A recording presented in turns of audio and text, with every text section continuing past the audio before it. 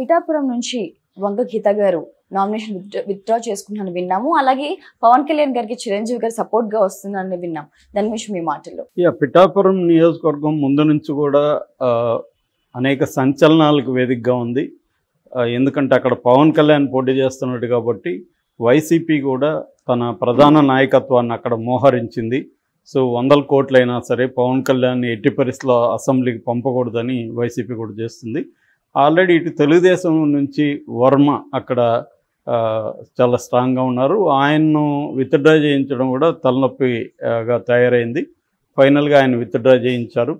But ఆయనకు జన సైనికులకు మధ్య కూడా అక్కడ గొడవలు జరుగుతున్నాయి.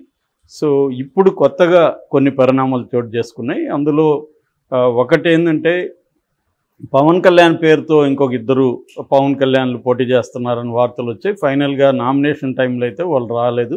అయితే ఇప్పుడు కొత్తగా వంగవీటి గీత పేరుతో ఇంకొక ఇద్దరు గీతలు అక్కడ నామినేషన్ వేశారని చెప్తున్నారు అందులో ఒకరిది మాత్రం పవన్ కళ్యాణ్ లాయరే ఆమెకు కూడా లాయర్గా పనిచేశాడు.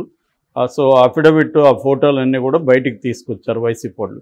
అంటే ఇది కే పవన్ కళ్యాణ్ ఓటమి భయంతో ఇంకొక గీతను ప్రవేశపెట్టారు అని చెప్తున్నారు. ఇది మామూలుగా అన్ని పార్టీలు కూడా ఈ మధ్యకాలంలో చేస్తున్నాయి. మనం చూసాం విడుదల రజనీ పేరుతో ఇంకొక ఆమెను తీసుకొచ్చారు. అది కూడా తెలుగుదేశం వాళ్ళే అక్కడ మాధవి తీసుకొచ్చి వాళ్ళ ఇంట్లో పెట్టుకొని బలవంతంగా ఆమె దగ్గర వేయించడానికి ట్రై చేశారని అవన్నీ కూడా వచ్చాయి. ఇది ఆంధ్రప్రదేశ్లో కామన్ అయ్యి లాస్ట్ టైంలో కూడా లాస్ట్ టైం కూడా కేఏ పాల్ ఇలాగే ప్రతి చోట వైసీపీకి వ్యతిరేకంగా తన మనుషుల్ని అదే పేరుతో ఉన్న రంగారావు అంటే రంగారావు అనే పేరుని పట్టుకొని పెట్టడం అవన్నీ చేశాం. ఇదంతా ఏంటంటే మ్యాక్సిమం కన్ఫ్యూజ్ చేసి జనాల్ని కొన్ని ఓట్లైనా వాళ్ళకి పడకుండా చేయాలనే స్ట్రాటజీ.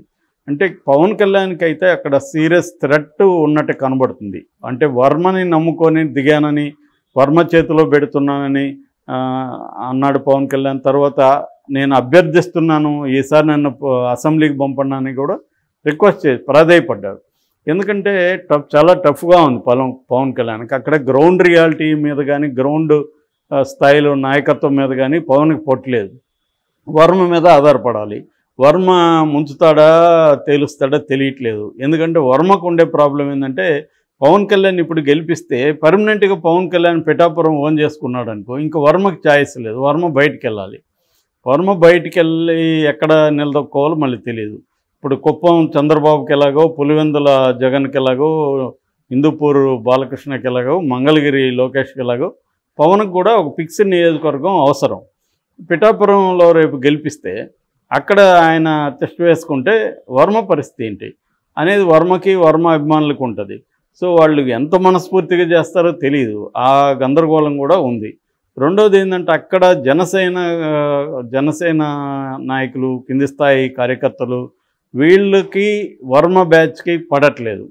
సో ఎందుకంటే పవన్ కళ్యాణ్ వర్మ బ్యాచ్కే ప్రధానమైన ఇంపార్టెన్స్ ఇచ్చి వీళ్ళని పక్కన పెడుతున్నాడు. అసలు కలవనీయట్లేదు గేట్ దగ్గరే ఆపేస్తున్నారు. ఇటువంటి విమర్శలు అక్కడ జన సైనికుల్లో నుంచున్నాయి. ఇటువంటి గ్రౌండ్ స్థాయిలో ఇటువైపు అనేక కన్ఫ్యూజన్స్ ఉన్నాయి. అటువైపు ఏమో జగన్ పెద్ద ఎత్తున మోహరించాడు. రెండోది వంగగీత గత ఇరవై ఏళ్ళ నుంచి రాజకీయాల్లో ఉంది. ఆయన ఆమె వాళ్ళ ఆయన ఆయన కూడా స్టూడెంట్ పాలిటిక్స్ నుంచి ఉన్నాడు. సో ఆమె ఆల్రెడీ ఎమ్మెల్యేగా ఎంపీగా గెలిచింది జడ్పీటీసీ చైర్మన్ చైర్పర్సన్గా ఉన్నింది. సో అందువల్ల ఆమెకు బాగా పట్టుంది అక్కడ. పైగా ఆమె కూడా కాపు ఇదే. మరోపక్క ముద్రగడ చాలా పెద్ద ఎత్తున పవన్ కళ్యాణ్ని అసెంబ్లీకి పంపించకూడదని అతను టార్గెట్ చేసి చేస్తున్నాడు. ఇన్ని దీని మధ్య పవన్ కళ్యాణ్కి ఒక అభద్రత మొదలైనట్టుగా కనబడుతుంది. అంటే మొదటేమో ఇటు హైపరాది కావచ్చు తర్వాత రామ్ ప్రసాద్ కావచ్చు ఇలాంటి అనేక మంది నాగబాబు జబర్దస్త్ బ్యాచ్ని దించాడు రంగంలోకి. జానీ మాస్టర్ ఇలాగా మొత్తం దిగారు. మరో అది కూడా ఏమి సరిపోతుంది అనిపించాల? వాళ్ళ ఇది ఏమీ అక్కడ పెద్ద పని చేయట్లేదు. ఎందుకంటే వాళ్ళు కమెడియన్స్ అది చూస్తారు తప్ప వాళ్ళు ఓట్లు ఏమంటే ఎందుకు వేస్తారు జనం? సో అదేమి పెద్ద పని చేయట్లేదు. దాంతో వరుణ్ తేజ్ని రంగంలోకి దించారు నాగబాబు కొడుకుని. సో వరుణ్ తేజీ వాళ్ళ మదరు ఇద్దరు కూడా అక్కడికి వెళ్ళి ప్రచారం మొదలుపెట్టారు. సో అది కూడా సరిపోదేమో. వరుణ్ తేజ్ కూడా అంత అంటే వరుణ్ తేజ్ కమ్మ యూత్ సారీ కాపు యూత్ని ఇన్ఫ్లుయెన్స్ చేసి తిప్పిస్తాడా ఇటువైపు? అన్న డౌట్ ఉంది. ఇంకా సాక్షాత్తు మళ్ళీ చిరంజీవినే రంగంలో దింది నిజానికి చిరంజీవి నేను పాలిటిక్స్ దూరం అని ఎప్పుడో చేతులు ఎత్తేసాడు ఈ పదేళ్ళుగా ఆంధ్రప్రదేశ్కి సంబంధించిన ఏ విషయంలో కూడా ఆయన ఇంటర్ఫియర్ కాలేదు. అప్పుడు జగన్తో వెళ్ళాడు. జగన్ ఆయన్ని ఇంటికి తీసుకెళ్ళి లంచ్ మీటింగ్ అయింది. తర్వాత జగన్ని పొగిడాడు. మూడు రాజధానులు కూడా సపోర్ట్ చేశాడు. ఇవన్నీ చేసి ఇప్పుడు చిరంజీవి వెళ్ళి మా తమ్ముడిని గెలిపించానంటే అది చాలా ఎంబరాసింగ్గా ఉంటుంది. అంటే మీ తమ్ముడు కోసం అయితే నువ్వు ఆంధ్రప్రదేశ్కి వస్తావు. మాకు రకరకాల ఇష్యూస్ ఉన్నప్పుడు నువ్వు రావా అనేది చిరంజీవికి ప్రశ్నలు వస్తాయి. అట్లాగే చిరంజీవికి అనేక ప్రశ్నలు వస్తాయి. నువ్వు పార్టీని దేనికి పెట్టావు? దేనికి అమ్మేసుకున్నావు? నీ కేంద్ర పెద్ద వస్తుంది అనుకుంటే అమ్మేసుకున్నావు. డెబ్బై లక్షల మంది ఓట్లేసి గెలిపించారు అప్పుడు నేను అట్లాగే పద్దెనిమిది ఎమ్మెల్యేలు ఇచ్చారు. అయినా నువ్వు తీసుకెళ్ళి కాంగ్రెస్లో కలిపేసి అమ్మేసుకున్నావు. మళ్ళీ ఇప్పుడు ఏ ముఖం పెట్టుకొని నువ్వు తమ్ముడిని గెలిపించడానికి వస్తావు? రేపు నీ తమ్ముడు అమ్ముకోవడానికి గ్యారంటీ ఉంది. ఇలాంటి ప్రశ్నలన్నీ ప్రజల నుంచి వస్తాయి. ఇటు వైసీపీ కూడా దీన్ని పెద్ద ఎత్తున లేవదీస్తుంది అట్లాగే చిరంజీవికి ఏంటంటే తమ్ముడిని తమ్ముడికి కెరీర్ సినిమా కెరీర్ చిరంజీవి ఇచ్చాడు. ఇప్పుడు పొలిటికల్ కెరీర్ కూడా చిరంజీవి ఇవ్వాల్సిన పరిస్థితి వచ్చింది. మామూలుగా చిరంజీవి సినిమాల్లోనే మనం చాలా సినిమాల్లో ఎట్లుంటుందంటే ముందు లోకల్ రౌడీలను పంపిస్తారు చిరంజీవిని కొట్టడానికి. వాళ్ళని రెండు నిమిషాలు కొట్టేస్తుంటాడు. అప్పుడు బాంబే నుంచి ఒక పెద్ద దాదా దిగుతాడు. వాడిని పెద్ద బిల్డప్ షాట్లు వేస్తారు. ఫైనల్గా వాడిని కూడా చిరంజీవి కొట్టేస్తాడు.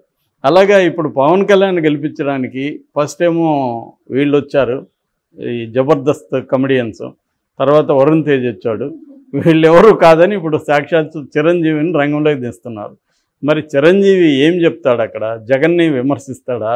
జగన్ని కానీ విమర్శిస్తే చిరంజీవి మీద వైసీపీ వాళ్ళు అటాక్స్ మామూలుగా ఉండవు. ఆయన ఏమేం చేశాడు అవి ఇవి అన్నీ రంగంలోకి వస్తాయి. ఇప్పటివరకు చిరంజీవికి కొంత మర్యాద ఉంది. ఇస్తున్నారు అందరూ. సో దాంతో అటాక్ స్టార్ట్ అవుతుంది. సో కాపు నాయకులే ముందు ముందుకు వచ్చి చిరంజీవిని విమర్శిస్తారు. వైసీపీలో ఉండే కాపు నాయకులే. రేపు ముద్రగడ పద్మనాభం వీళ్ళందరూ వస్తారు. ఎప్పుడూ నువ్వు కాపుల గురించి పట్టించుకోలేదు. ఈ పదేళ్ళలో కాపుల విషయాలు ఎప్పుడన్నా పట్టించుకున్నావా? ఇప్పుడు వచ్చి మా తమ్ముడిని గెలిపించమంటే ఏ ముఖం పెట్టుకొని అడుగుతున్నావు ఓట్లు అని అడుగుతారు. అట్లాగే చిరంజీవి గతంలో ఇచ్చిన స్టేట్మెంట్స్ ఉన్నాయి. ఆ రెండు పత్రికలు మమ్మల్ని ఎట్లా ఇబ్బంది పెట్టే చంద్రబాబు మీద ఆయన ఇచ్చిన స్టేట్మెంట్స్ ఉన్నాయి. అవన్నీ ఆ వీడియోలన్నీ మళ్ళీ బయటికి తీస్తారు. చిరంజీవి ఏం మాట్లాడాడు? జగన్ని ఎట్లా పోయాడు ఇవన్నీ మళ్ళీ బయటికి తీస్తారు. ఇంకా ఇంకా పెంట అయ్యే అవకాశం ఉంది. ఇప్పుడు పవన్ కళ్యాణ్ మొన్నటి వరకు ఏమంటున్నాడు? మా అన్న చిరంజీవి జోలికి రావద్దు మా అన్న జోలికి రావద్దు అంటున్నాడు. ఎందుకు రాకూడదు నీ అన్న జోలికి? మీ అన్న రాజకీయాల్లోకి వచ్చినప్పుడు అందరూ వస్తారు. మీ అన్న రాకూడదంటే మీ అన్నని అక్కడ పెట్టు. మీ అన్న రాజకీయాల్లోకి రానంత వరకు ఎవరు రారు మీ అన్న జోలికి? మీ అన్న రాజకీయాల్లోకి వచ్చి నేను అందరి జోలికి వస్తాను నేను అందరిని మోకాల మీద నడిపిస్తాను కడ్రాయలతో నడిపిస్తాను నరకం చూపిస్తానని అతను మాట్లాడుతుంటే వాళ్ళ అన్నం గురించి ఎందుకు మాట్లాడకూడదు? సో ఇది ప్రాబ్లం అవుతుంది. దీనివల్ల ఏమవుతుందంటే పవన్ కళ్యాణ్కి ఇంకా అక్కడ నెగటివ్ పెరిగే అవకాశం ఉంది. మిగతా సెక్షన్లో కాపు యూత్ కాపు యూత్ వరకు డోకా లేకుండా జరగచ్చు కానీ కాపు పెద్దవాళ్ళు కావచ్చు మిగతా అక్కడ ఏంటంటే నైంటీ థౌజండ్ ఓట్ల వరకు కాపు ఉన్నాయి. బీసీలు ఒక ఎయిటీ ఫైవ్ థౌజండ్ ఉన్నాయి. సో వాళ్ళు కాకుండా ఎస్సీలు ఉన్నారు. మాలా సామాజిక వర్గం మాదిక సామాజిక వర్గం. సో ఈ ఓట్లంతా కూడా పరిగణలోకి తీసుకుంటే కాపు కూడా గంపకొత్తగా ఏమి ట్రాన్స్ఫర్ అయిపోవు. చిరంజీవి చెప్పగానే కాపులందరూ టర్న్ అయిపోతారా? చిరంజీవి ఏం పిలిపిస్తాడు? ఎందుకు ఓటేయాలని ఆయన ఎలా స్లోగన్ ఇస్తాడు? ఇవన్నీ ఇంకా గందరగోళం అయ్యే అవకాశం ఉంది. అంటే దీని నుంచి ఏమి మెసేజ్ వెళ్తుందంటే జనాల్లోకి పవన్ కళ్యాణ్ భయపడుతున్నాడు. పవన్ కళ్యాణ్ అభద్రతలో ఉన్నాడు. చిరంజీవి రాకపోతే గెలవలేము అన్న దేనికి పవన్ కళ్యాణ్ వెళ్ళిపోయాడు అన్న పరిస్థితి వస్తుంది. ఇప్పుడు గీత రిజైన్ చేసిందని కూడా జనసైనికులే ప్రచారం చేస్తున్నాడు అది కూడా గవర్నమెంట్ విషయమే కదా. ఆమె రిజైన్ చేయలేదు. ఆమె విత్డ్రా చేసుకోలేదు. నామినేషన్ని